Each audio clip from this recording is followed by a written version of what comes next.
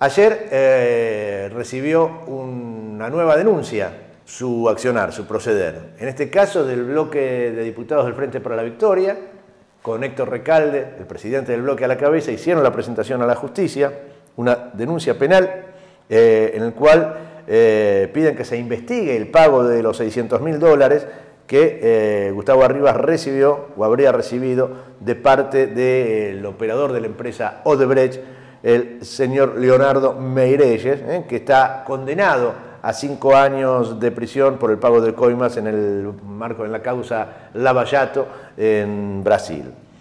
La causa quedó radicada en el Juzgado Criminal y Correccional Federal a cargo de Sebastián Casanelo y va a ser investigada por el fiscal Franco Picardi. Teresa García, la diputada Teresa García, una de las firmantes de la, de la denuncia, en paralelo, presentó un pedido en el Congreso para que eh, Gustavo Arriba sea citado a dar explicaciones en la Comisión Bicameral de Seguimiento de los Organismos de Inteligencia.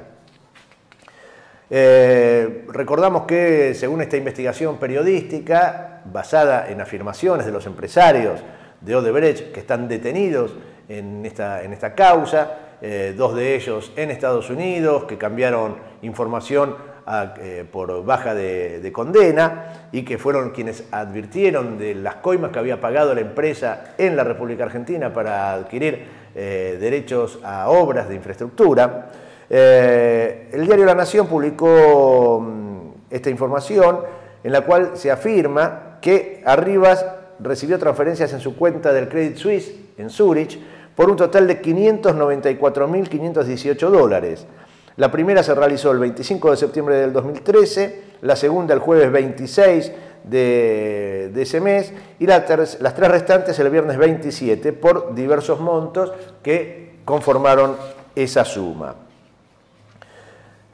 Comenzaron a escucharse voces, protesta, exigiendo la renuncia, la suspensión, que se corra, eh, voces de todo tipo, entre ellas las de Cristina Fernández de Kirchner, mediante un tuit, la expresidenta dijo eh, que Arribas, titular de la AFI, vive en un departamento alquilado a Mauricio Macri.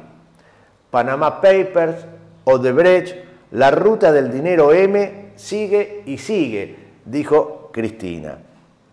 Claro, es lo que le venimos diciendo. Cada vez que van a buscar información eh, para buscar eh, lazos de corrupción, dinero mal habido entre la presidenta y la expresidenta y algún banco del exterior, lo único que encuentran son cuentas del propio Mauricio Macri o de funcionarios de su gobierno. Hasta ahora a Cristina no le pudieron encontrar nada. Dicen, sacan titulares, la procesan y demás, pero prueba no hay. Ya hasta el propio diario La Nación, ustedes fíjense, ¿no? el día sábado pasado el diario La Nación eh, publicó un artículo en el cual trataba de explicar las causas que hay contra el expresidente y decía, no hay nada, no hay prueba concreta, lo decía el diario La Nación, que es uno de los que más interesados está en eh, que haya una condena contra Cristina, en meterla presa. Bueno, uno lee los artículos del diario La Nación con atención y se da cuenta que ellos mismos dicen, no hay pruebas. Ahora, el mismo diario La Nación publica esta información que ya tenía hace tiempo, otra vez volvió a hacer lo mismo que los Panama Papers, donde le habían dado la información mucho tiempo antes. El diario de la Nación le avisó al presidente, le avisó al gobierno para que tomara los recaudos del caso y después estalló el escándalo. En esta situación lo mismo. Pero fíjense la diferencia, ¿no?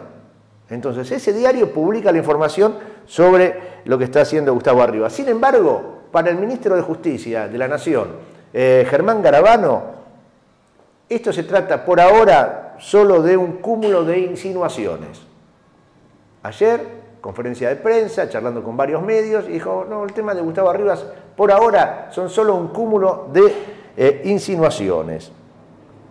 Dijo que eh, según como evolucione la cuestión, se verá la situación del funcionario, aunque aclaró que se trata de una decisión del presidente Mauricio Macri si tiene que desplazarlo o no sostuvo que seguramente, seguramente, dice Germán Garbano, el ministro de Justicia, seguramente eh, Gustavo Arribas aportará los elementos para brindar esa explicación que responda a la denuncia de haber recibido 600 mil dólares de dicha firma.